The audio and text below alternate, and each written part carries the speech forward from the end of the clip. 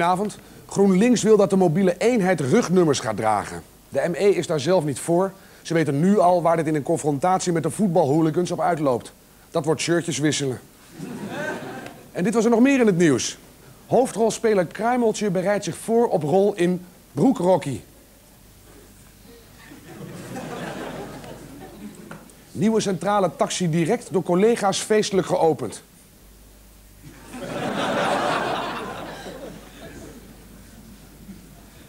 Opvolger Joop Braakhekken presenteert Koker met sterretjes.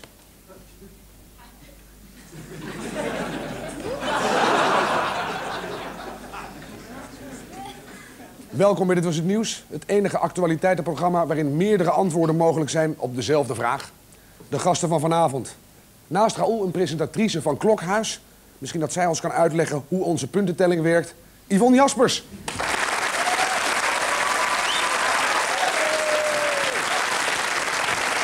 Aan mijn, aan mijn rechterkant een teamcaptain die invalt voor Thomas. Want Thomas puft zich momenteel suf om een nieuwe telg aan de grootste familie van Nederland toe te voegen.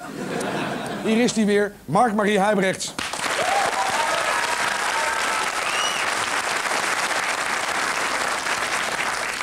En naast hem een PvdA-lid dat nu al begonnen is met haar persoonlijke lobby voor de Tweede Kamerverkiezingen van 2003, Edith Masterbroek.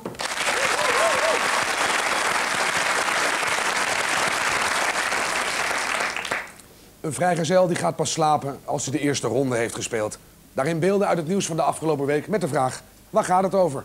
Voor Raoul en Yvonne. Nou, dit gaat over een, eh, een, eh, een dans, denk ik. Een klompendans. In eh. Tirol. Hallo, meneer. Wie is deze meneer? Ja, dat is die Heider? Dat is Ja. die viezerik. Dat is die, eh, die op, hier op zijn gezellige... Hele foute man. Met eh, vrouw en kinderen. Oh, kijk, een beer. Heb je een beer, dus dit, dit is de kans. De En kans. wat doet die beer?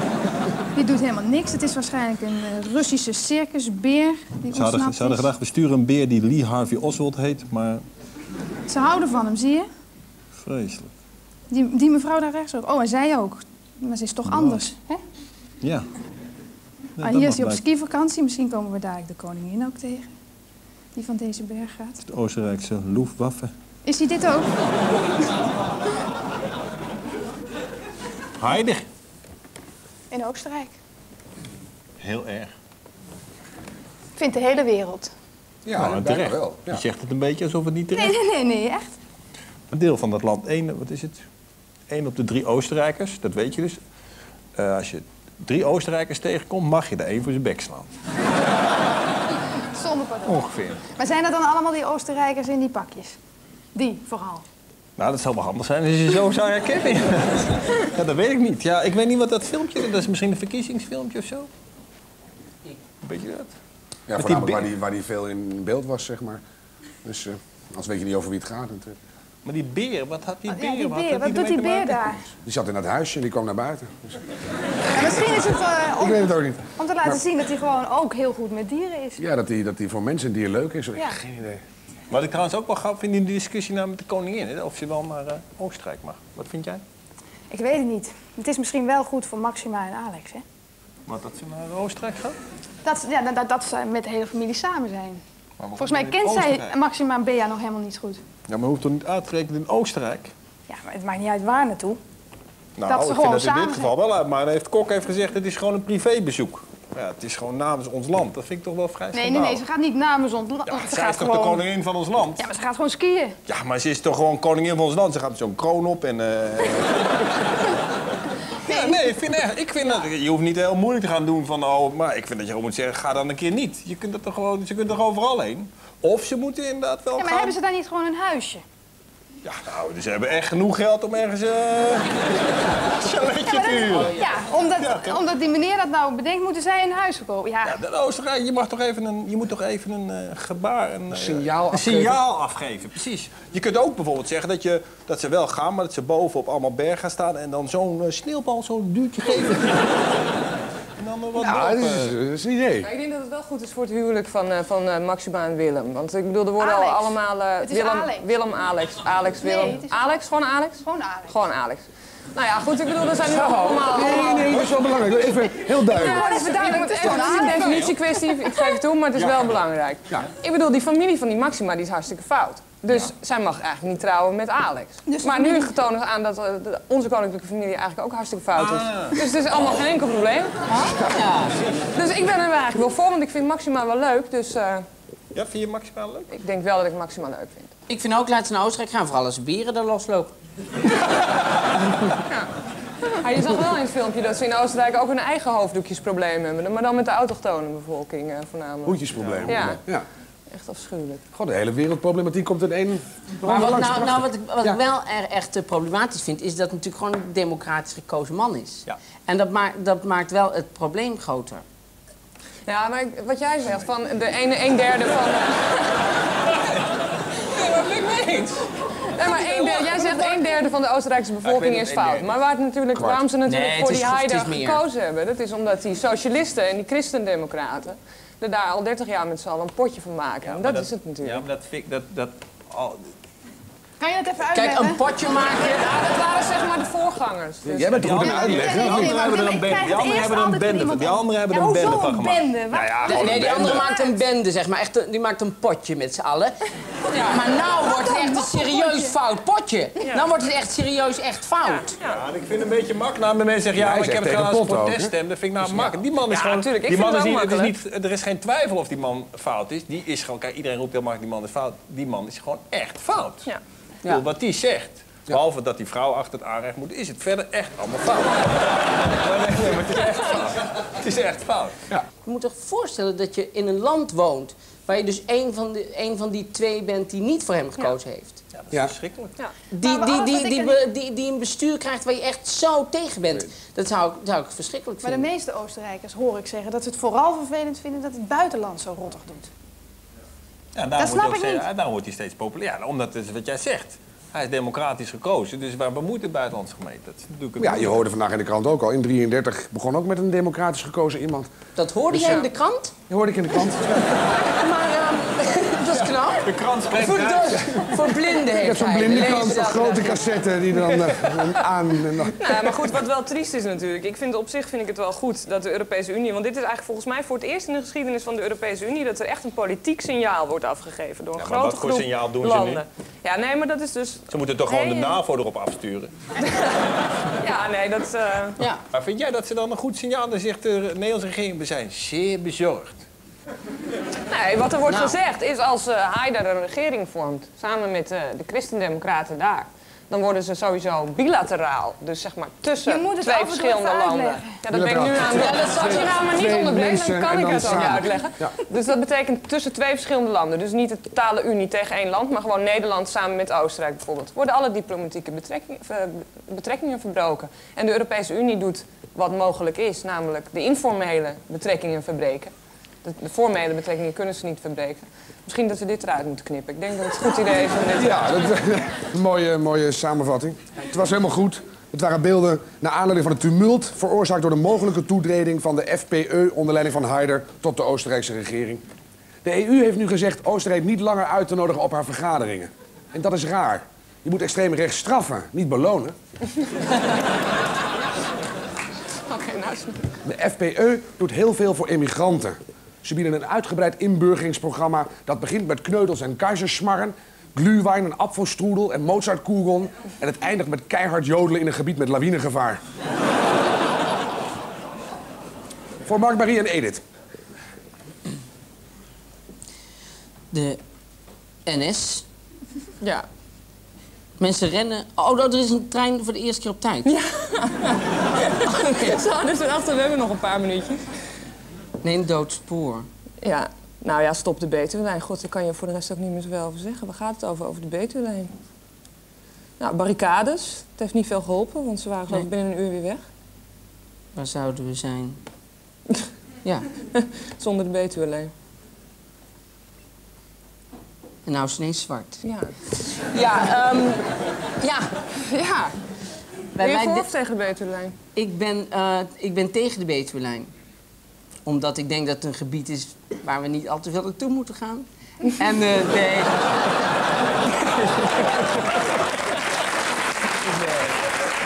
Nee, het is, het is een heel mooi, mooi gebied. Maar foto's vind ik ook leuk. Dus, ehm, nee, maar ik, ik, ik ben er tegen omdat ehm, eh, ze, ze zetten het nu door... terwijl ze weten dat het een ramp wordt. Maar ze hebben nu zoiets... nee, we hebben besloten dat het moet beginnen... en we zijn begonnen met bouwen, dus moeten we het doorzetten. En dat vind ik een beetje onzin. Ja. Wat vind jij? Nou, dat vind ik ook. Eigenlijk. Nou, dat vinden we alle twee. Ja, wij vinden dat. Wat vinden jullie? Met jouw partij. Dat is jouw partij. Ja, maar goed, je hoeft het er ook niet overal mee eens te zijn. Ik heb nog geen partij. Ik heb nooit gezegd dat ik het overal mee eens ben met wat die partij doet. Ja. Maar kan jij niet binnen de partij er iets aan doen? Nou, dat heb ik samen met jouw vader onder andere hebben dat geprobeerd. Want, eh, eh, niemand neemt mijn vader serieus. Jawel, jawel. Joh, joh, eerst die Noordtak.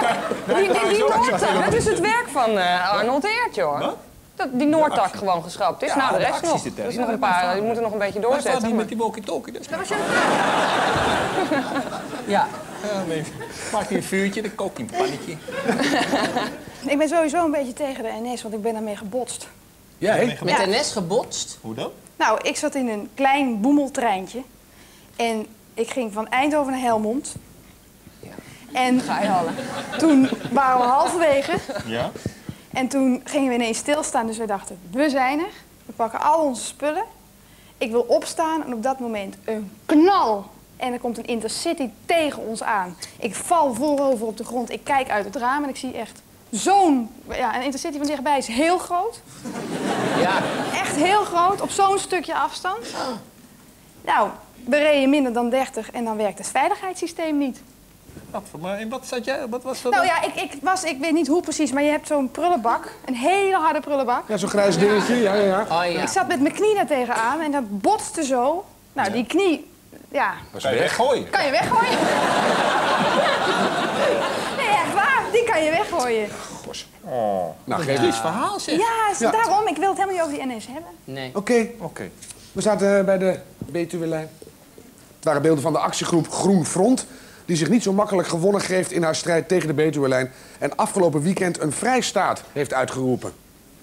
Ja, ze wierpen barricades op en hebben zich ingegraven. Door het graven van die tunnels komt een ondergrondse Betuwe-lijn natuurlijk wel een stapje dichterbij. Ik ben zelf wel voor de Betuwe-lijn. Mensen in Gelderland hebben ook recht op zelfmoord voor de deur.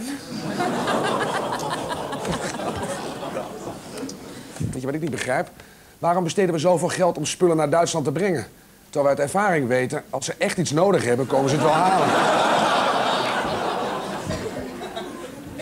Voor Raoul en Yvonne.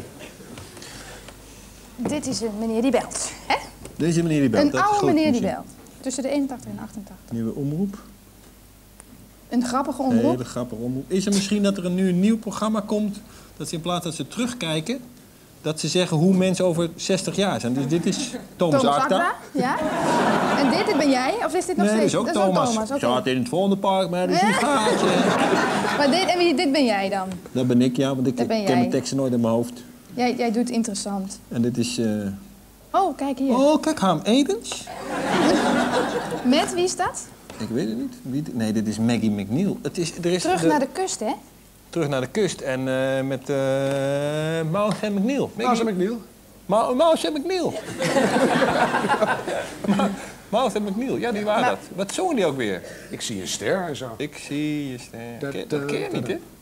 Heb ik iets gemist? 26? Hij staat nog voor. Maar Strakjes welk komt jaar ben je geboren? In, eh oké, zij kent het wel. Ja, Oh, nou, Hoe oud ben jij? 24. Ik ben echt een stuk ouder. Jullie hebben, jullie hebben 74 niet meegemaakt? Ja, 78? nee, ik heb 74 meegemaakt. Heel bewust. Nee, heb je niet meegemaakt. Ik bedoel de WK-finale. Nederland eh, Toen staat. was ik één. Wat heeft dat nou met eh, Maggie McNeil te Nou, maken? alle mensen die ik ken, die hebben de WK. Dat is, dat is, eh, Hebben we nu een kloof? ja, want dat is, ja, al mijn frustraties komen van dat moment. Zo is het begonnen, ja. maar wat maar heeft het- het te maken met de beelden? Nou, ik denk dat er, er is waarschijnlijk een eh oudere omroep komt er. Met, eh, en het idee is dat ze zeggen, we gaan, oh misschien is dat het, dat het niet is voor oudere kijkers, maar met oude omroepmensen. Dat dus de makers oud zijn. Want er is bijvoorbeeld ook zo'n zo'n clubje oude omroepsters. Ken je Is dat, dat clubje? Dat is er echt. Nee, ken ik niet. Dat is met omroepsters die zeg maar Oud zijn. Oud Ik wou zeggen afgestudeerd, Ja, maar afgedankt zeg. gewoon eruit leggen, Maar zeg wat maar. doen die dan, dat clubje? Kletsen. En die gaan voor elkaar zeggen, en dan gaan we nu kletsen. Die ouderen die willen hun eigen omroep omdat ze eigenlijk een hekel hebben aan alles wat jong is. Ah, dat geloof ik niet. Jawel, geloof ik wel. Dat denk ik wel. Maar ze zetten het toch ook op, ja. Ja, ze willen hun eigen programma's. Dingen uit de tijd van weleer, zeg maar. Allemaal van die, nou ja, goed, ik weet niet eens wat. Want Maar verzin je dit nu of bij is het echt? Nee, dat is echt zo. Ze Dit willen hun eigen omroep. Ze gaan, voor, opgericht. ze, gaan, ja, ze gaan voor de C-status. En hoe heet ze, die je er op plaats zag? Maggie Jij weet hoe ze heet. Maggie McNeil. Maggie McNeil, Dat ja. wordt vaste omroep zijn. Maar die is... Ja, echt Maar die waar. zijn niet zo oud, toch? Nou, 50.000 leden hebben ze nodig. En dan, ja, maar ik, ik vind het wel leuk als iedereen gewoon omroepen op kan zetten. Nee, weet je wat ik wel vind? Maar dat is gewoon eh, misschien... Je hoeft er ook niet te moet- kijken. En die oude mensen kunnen ook niet zappen. Dus, Nee, ja, nee, maar serieus. Stel nou voor. Op een, on, op een onbewaakt moment zet je je tv aan en je komt per ongeluk bij de ouderomroep Nou, dat uit. geeft toch niet? Nee, wel, dat vind ik een Ja, traumatische vind ik ook. Maar waarom? En ik vind dat je, en ik vind ook ook dat je leden, dat je lid moet kunnen worden, maar je moet ook tegenlid kunnen tegenlid. worden. Je moet een tegenlid kunnen, tegenlidmaatschap kunnen Dus hebben. als zij 50.000 hebben, wij hebben 50.001 tegenleden, gaat het mooi niet door het feest. Dat vind ik wel mooi. Zeg, Ja, ik wil wel lid worden. Plus ik vind het gevaarlijk in de studio's. Nou, Die zijn vaak incontinent en dat is Ja. allemaal elektriciteit. Jongen, jongen. Ik vind het niet goed. Nee, en het leidt tot enorm conservatisme in de Maar waarom moet samenleving. iedereen die op televisie komt leuk, jong, blond, Nee, juist niet. Ik wil bijvoorbeeld... Nee, maar daarom, ik vind ook dat ze moeten integreren in de normale tv. Ze moeten niet zeggen, die ja, normale tv willen niet. Die willen niet. Dat Ik ben, dit, weekend, dit weekend ben ik Mies Bouwman tegengekomen. Dat is leuk. Mies Bouwman is echt zo iemand waarvan... Dus heb ik bij de koningin en bij Mies Bouwman... dat je hart sneller gaat kloppen.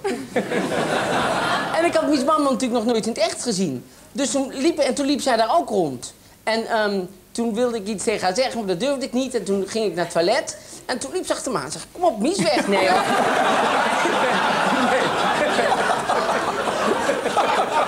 Ik denk, jij vertelt een mooi verhaal. Komt een mooi verhaal, komt een mooi verhaal, komt een mooi verhaal. Dus jij staat met Dus ik ga naar het toilet. dus ik ga naar het toilet. Ik kom terug. Wie, wie loopt weg? Ja, Eh, eh, Mies Bouwman.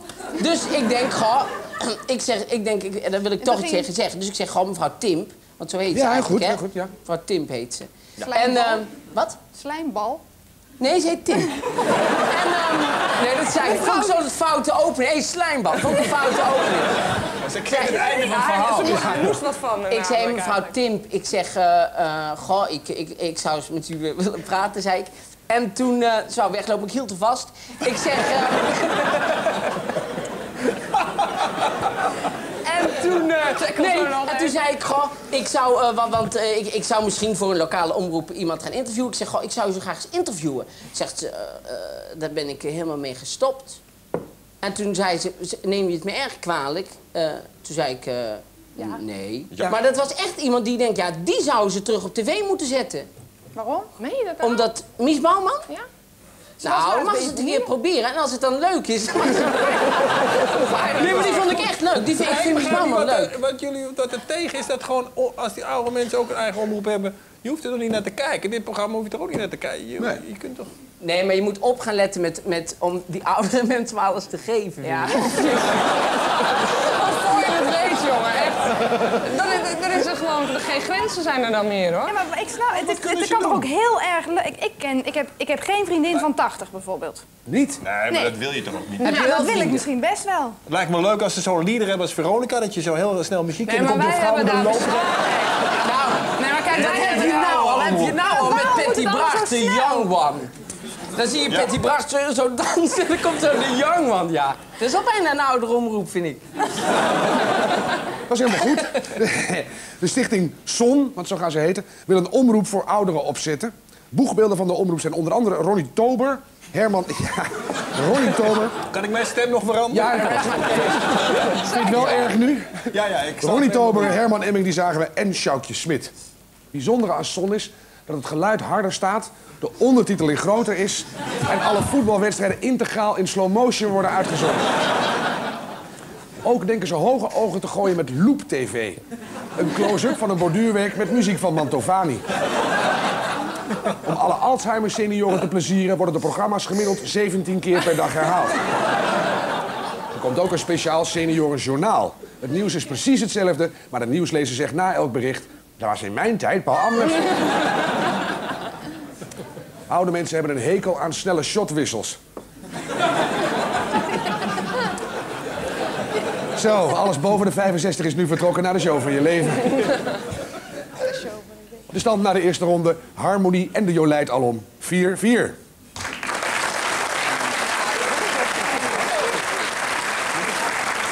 Hoe is het mogelijk?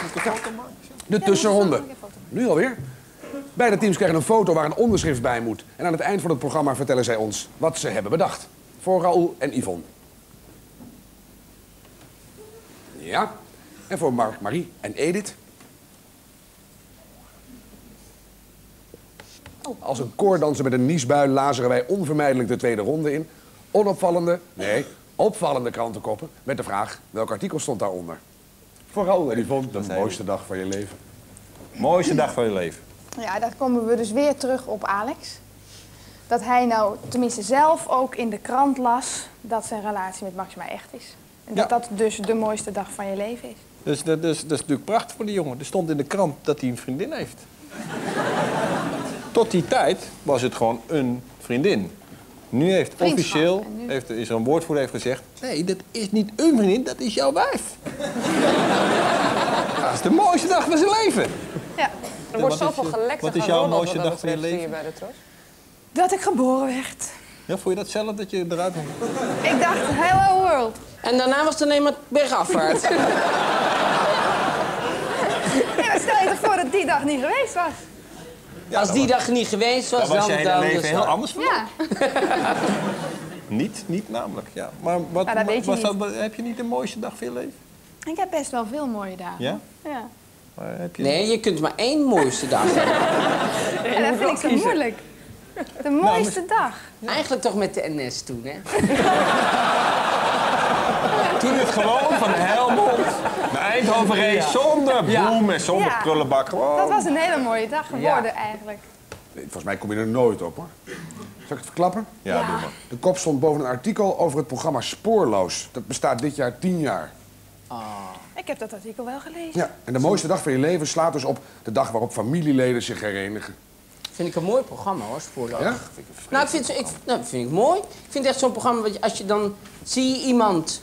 En dan raak ik toch altijd wel geëmotioneerd. En dan vind ik het ook weer stom van mezelf. Maar, dus, ik schiet vol, maar dan moet ik ook weer lachen.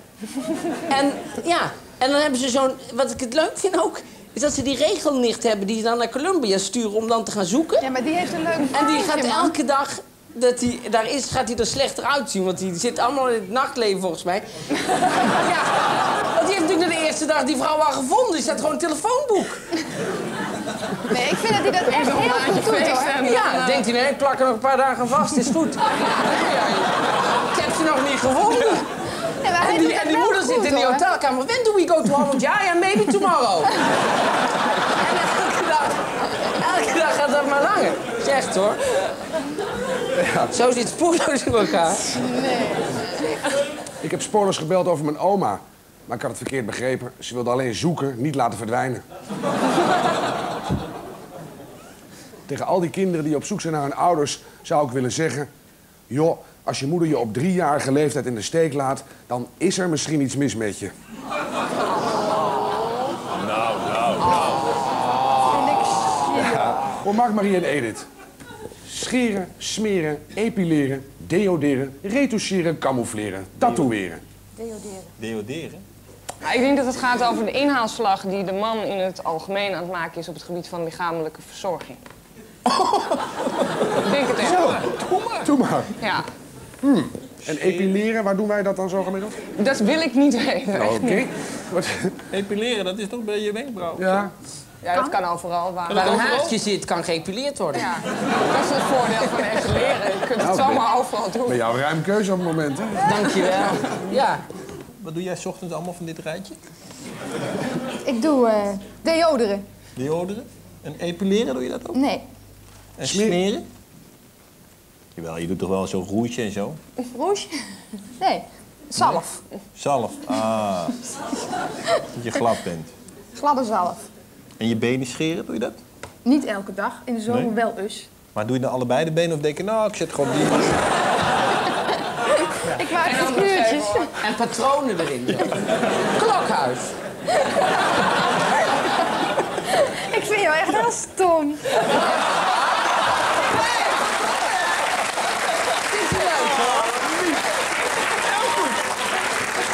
Je dat dat zo mocht, zo direct? Oh, dan ik jou ook. Jij vindt mij jou veel leuker dan ik, Ik vind jou. jou wel leuk. Ja, dat dacht ik al. Nee, maar nou gaan we wel even door bikinilijn. Wat is toch een bikinilijn? Nee, maar wat is dat als dat? er, als er zo'n vrouw... eh, moet ik dat gaan uitleggen? Nee, nee, nee. Ja, de lijn. Kijk, je doet een bikinibroekje aan, dan komen dan checkbuilen onderuit. Check. Bij mij niet hoor, maar Check. hoor. Ik Zeg het vast. Nou, Ik heb dat check? Ik zelf niet beter kunnen zeggen. Twee van die pakjes halfzware check aan beide kanten. Ja, ja, Ja, ja. dat, is, dat vind jij niet leuk, als Nee, ik dat heb. vind ik vreselijk. Maar Dus dat dat vindt hij niet weg. leuk. Dat hou je de weg. Maar dan koop je toch een bikinibroekje wat niet onderaan. Dat heb ik ook gedaan. Ja. Dus jij hebt zo'n hele grote... Ik heb een lange. Is er niet een of andere beurs of zo in de RAI met allerlei schoonheidstoestanden? Schoonheidsspecialisten, dat zou kunnen... Oh nee. Zo, echt voor de punten hier. hè? Ja. Ja, schoonheid, schoonheidssalon, Diploma's? diploma's. Ja, ja, ja. Schoonheidssalon diploma's? Nee, nee. Opberg. Gewoon even een diploma's opbergkastje. Nee? Nee? Nee, het was een onderzoek naar de vraag of er grenzen moeten zijn naar ons streven naar schoonheid. Dus is een medische ingreep in het uiterlijk van de mens normaal of niet?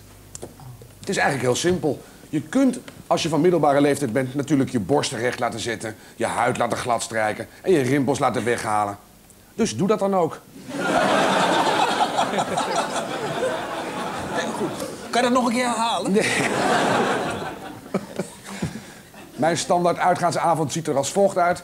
Scheren, camoufleren, versieren, me bezeren, onaneren en de volgende dag opnieuw proberen. De punten na twee ronden. Ach en wee voor het team van Raoul. En ach, kijk nou toch voor het team van Mark-Marie. 4 tegen 5.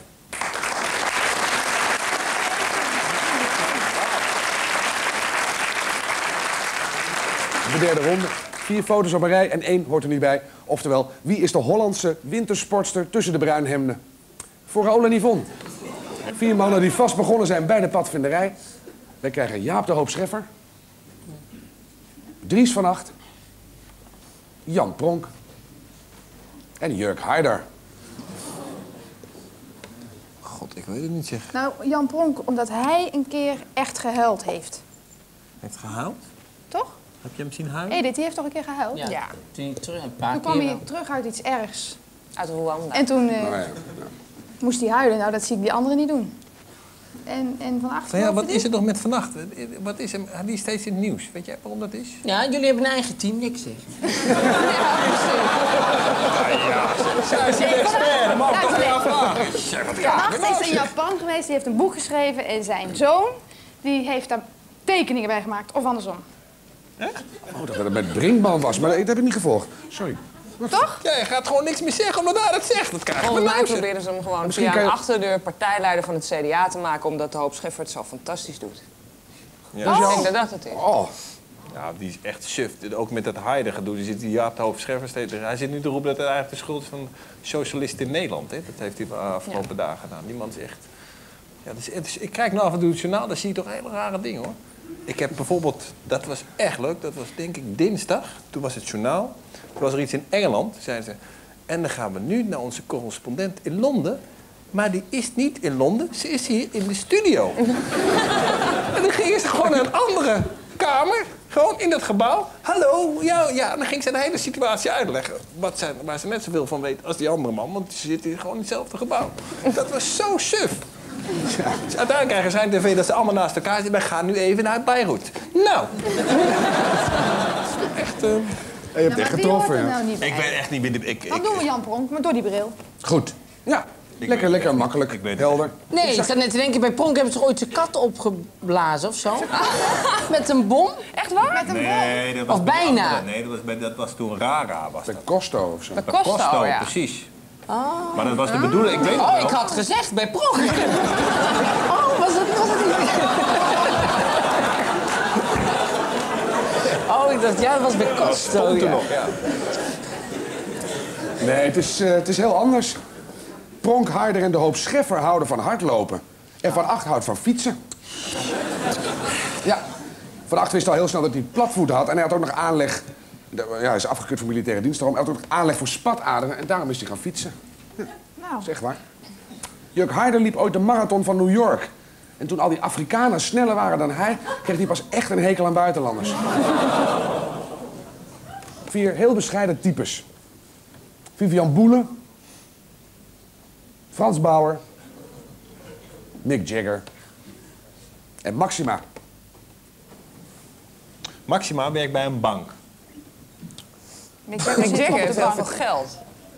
Geld, ik weet het. Frans Bauer heeft ook heel veel geld. Ja. Maar die woont in een woonwagen. Is dit zo? Ja, die woont in een woonwagen.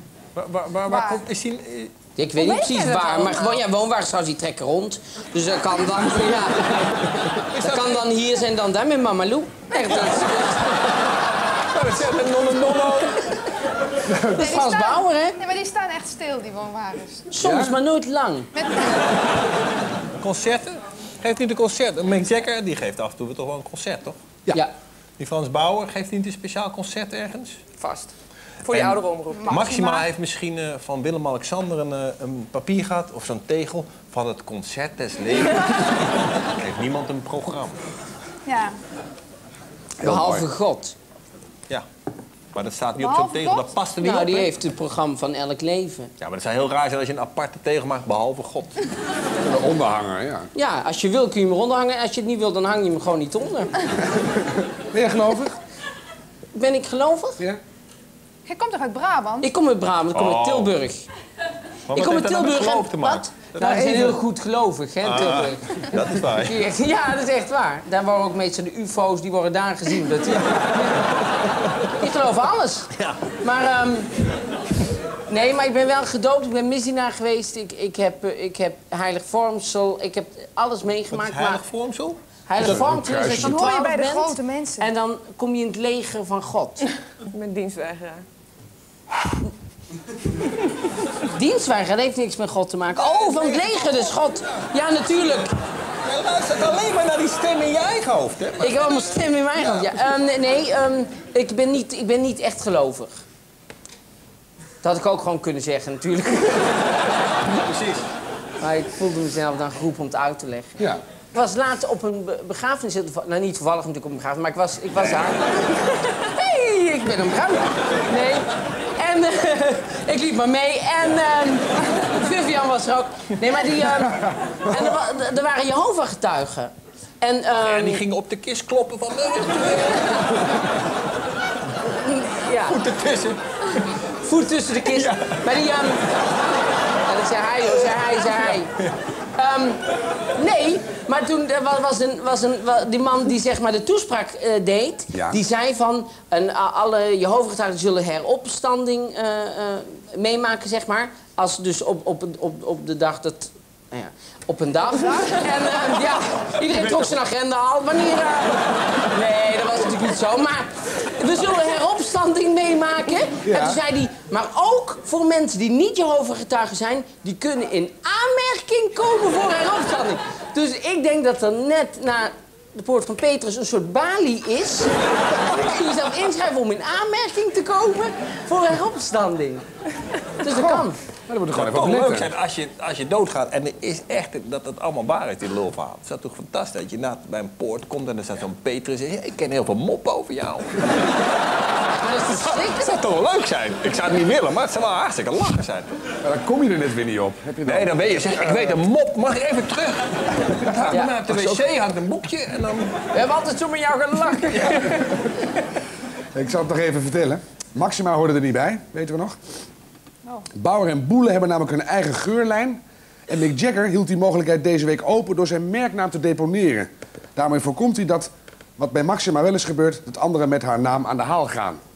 De naam van Maxima is al gekoppeld nu, ook al aan een geurlijn en ook aan een afslankproduct. Mag ik heel wat vragen? Ja. Jan Boele heeft toch niet een geurlijn? Ja, Nee, maar dat is het alles eh, met de bikinilijn, dat je er maar ruikt tot hier. Nee, dat kan toch niet? Dat- kan... Toiletverfrisser. ik dacht over die opslag. Vivian Boele, toiletverfrisser. De eindstand van vandaag. Het is juichen bij de familie Huibrechts en zeppen bij de familie Heertje. Zes tegen zeven.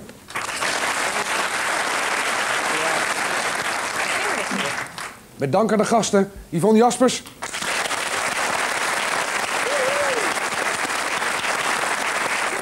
En Edith Masterbroek.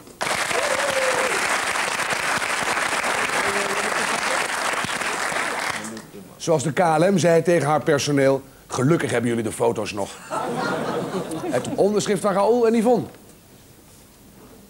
Die sneeuwpop zegt tegen die rabbijn... eh, ja, sorry, k- kunt u me even besnijden? En dan zegt die rabbijn... Nee joh, dat smelt er vanzelf af. Ja, dat nog. En het onderschrift van Mark-Marie en Edith. Dat doet hij anders nooit.